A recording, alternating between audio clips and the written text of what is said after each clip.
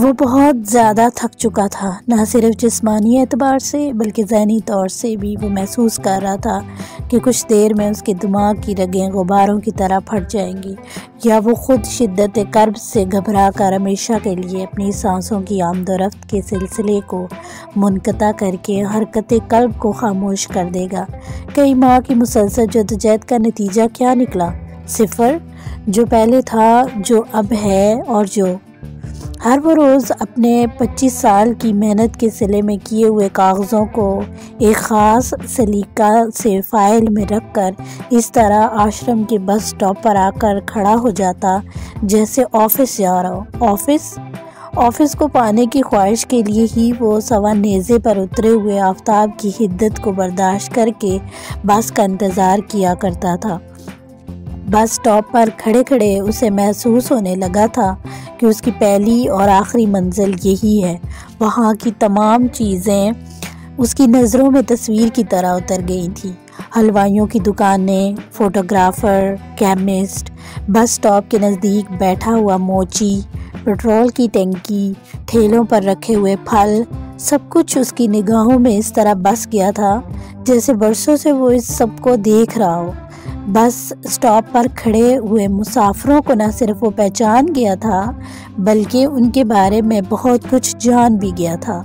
ये लंबे और दुबले पतले सांवले से साहब 410 में जाएँगे, जो लाजपात नगर से सेंट्रल सेक्रेटेरिएट जाती है और रेडियो स्टेशन पर उतर जाएँगे। ये साहब जिनके हाथ में काले रंग का ऑफ़िस बैग है, ओखला से आने वाली मनी बस में सवार होंगे।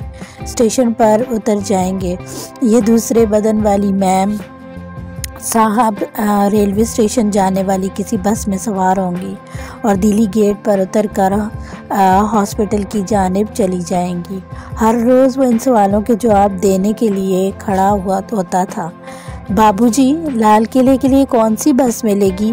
बेटा 405 नंबर आए तो बता देना। भैया, कुतुब मीनार पर कितने नंबर की बस जाएगी?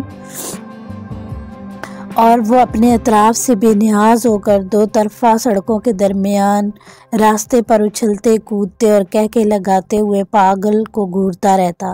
वो नौजवान पागल आश्रम के बस स्टॉप का एक लाजमी हिस्सा बन चुका था। बस स्टॉप पर खड़े सभी अशखास उसकी मुजाहिका खेज़ अरकात पर मुस्कुराने की कोशिश किया करते थे और वह पागल इन सब अशखास की बेबसी पर कहका लगाता था। वो देखता कि हर रोज़ उस पागल के हाथ में ज़रूर कुछ ना कुछ होता। बिस्किट, रोटी, मिठाई, पैसे, वो इन सब चीज़ों को एक या दो मुँह मार कर अपनी हकारत से कुत्तों के आगे डाल देता था। उसकी नज़र में इन खाने की चीज़ों की कोई कदर नहीं थी, या वो इन, इनकी कदर नहीं जानता था। शायद उसे मालूम नहीं था कि बस स्टॉप पर खड़ी हुई बूढ़ी जिंदगियाँ, चलती हुई बसों के डंडे पर सिर्फ़ इसलिए लटकती हैं ताकि वो दिन और रात के 24 घंटों को गुजारने के लिए कागज़ हासिल कर सकें। शायद उनके पुल के नीचे बैठने इस भिखारी को नहीं देखा, जिसके आगे बिछे हुए कपड़े पर हमेशा पाँच पैसे के तीन चार सिक्के ही पड़े रहते हैं। उसे पागल से कुछ ख़ास दिलचस्पी हो गई थी। अगर किसी रोज़ वहाँ से नहीं देखता तो उसे महसूस होता कि वो वो मुर्दा लोगों के दरमियान खड़ा है। उन जिनके होंठों से मुस्कुराहटें जुदा हो गई हैं। वो ख़ुद भी तो इन मुर्दा लोगों में से एक था जो कहका नहीं लगा सकता था। इसने सोच लिया कि अब वो कहीं नहीं जाएगा। घर से आ, आए हुए तमाम रुपए आहिस्ता आहिस्ता ख़त्म हो चुके थे। कब तक वो घर से पैसे माँगता रहेगा? हर रोज़ कई रुपए बस के टिकटों में बेमकसद ज़ाया हो जाते थे। जगह जगह दरख्वास्तों के साथ पोस्टल ऑर्डर लगाते लगाते वो तंग आ चुका था। पिछले तीन रोज़ से वो कहीं नहीं गया था। जैनी कर्ब और भूख की शिद्दत उसे तड़पा रही थी और उनसे निजात हासिल करने के लिए पैसा दरकार था। वो बहुत देर तक बिस्तर पर लेटा हुआ छत को घूरता रहा। नौकरी भूख पैसा, भूख, पैसा, नौकरी, मकड़ी के जाले की तरह ये तीन अल्फाज उसके जहन में उलझ के रह गए। अचानक उसे छत की सफ़ेद सतह पर उस पागल की मुतहरक तस्वीर नज़र आई। वो ज़ोर ज़ोर से हंस रहा था और अपने हाथ में ली हुई रोटी कुत्ते को खिला रहा था। उछल उछल कर वो अपनी खुशी और बेफिक्री का इजहार कर रहा था। उसके जहन में फिर वही अल्फाज उभरे, भूख पैसा, नौकरी और फिर वो इतनी तेज़ी से उठा जैसे बिस्तर में करंट दौड़ गया हो। मेज़ पर पड़ी फ़ाइल उठाकर उसमें रखे कागज़ों को उलट पलट कर देखने लगा।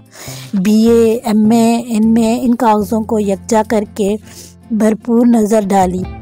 दूसरे लम्हे उन्हें चाक कर डाला। फिर आईना उठाकर अपना चेहरा देखने लगा। कई रोज़ से शेव न करने के सबब दाढ़ी बढ़ चुकी थी।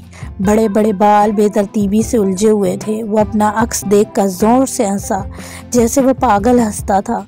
उसने पूरी ताकत से आईने को दीवार पर दे मारा और खड़े होकर अपने कपड़े फाड़ डाले। कमरे का सामान इधर उधर फेंकने लगा और फिर उछलता कूदता कह के लगाता हुआ कमरे से बाहर निकल खड़ा हुआ।